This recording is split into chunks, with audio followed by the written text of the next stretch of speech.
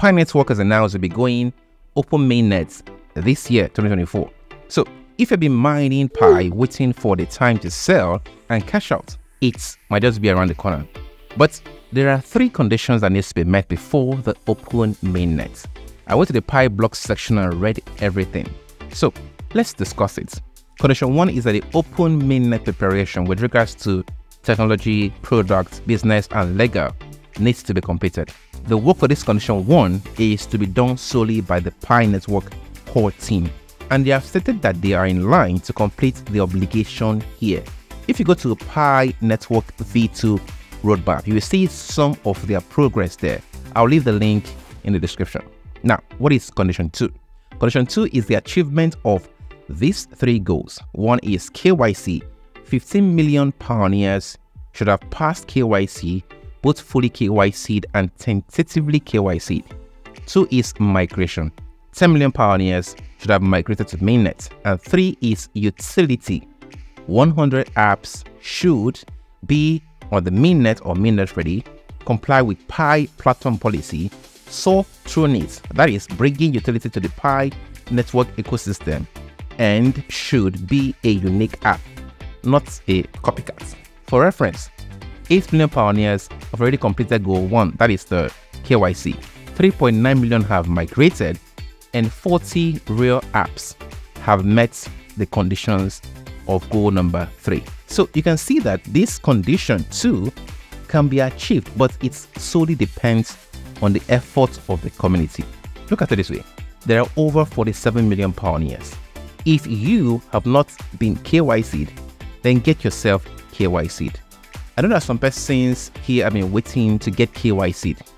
The Pi team released a blog post this year on how they have improved the efficiency of the KYC. So if you have not yet been KYC'd, tap the KYC tab on the Pi browser and follow the process.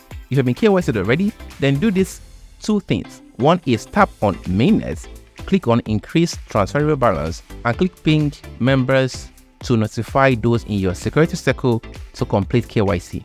The second thing you should do is that you should migrate to mainnet if you have been fully KYC'd. And if you are a developer, build on Pi Network, there are potentially 47 million pioneers that could be your customer. Now, let's get to condition number three absence of unfavorable external condition. This include macroeconomic crisis, unfavorable legal or regulatory developments, industries uncertainties, war or any number of unpredictable, uncontrollable and or unforeseeable external factors. The thing is that Pi wants to launch at the best time possible that will enable the token to blossom. If you look at the crypto industry in general, projects that launch in the bear season perform poorly, be it a very good project or a bad project. And conversely, project launch in the pre-bull season or in the bull season performs really well. Pi Network has been building since 2018 and pioneers have been mining since 2019. So it is pertinent that Pi goes mainnet at the most optimally favorable time. Now, let's put this all together. For condition one, this is being handled by the Pi core team. Um, they say they are on track, so condition one will not be an hindrance to Pi going mainnet this year. For condition three, 2024 is ripe for project launches and many crypto projects are launching already.